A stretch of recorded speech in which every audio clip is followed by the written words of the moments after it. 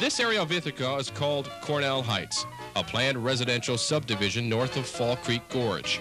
Between 1898 and 1935, over 200 structures were erected in this new suburb, which was connected to the campus by a suspension bridge and made accessible to downtown Ithaca by a trolley.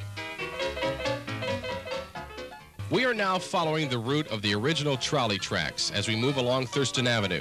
To the left, alongside of the hill, just past the corner of Thurston Avenue and Barton Place, there is a flat roadbed.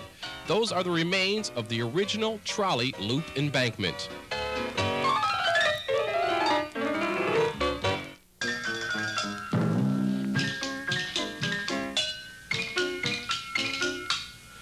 To the right, there is a beautiful view of Ithaca below.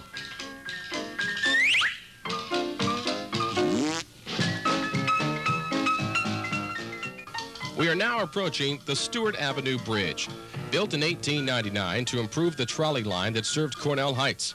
A silent film made by the Wharton Studios immortalized the bridge in a scene in which a runaway trolley plunged 200 feet into the gorge below, the hero jumping to safety just in the nick of time.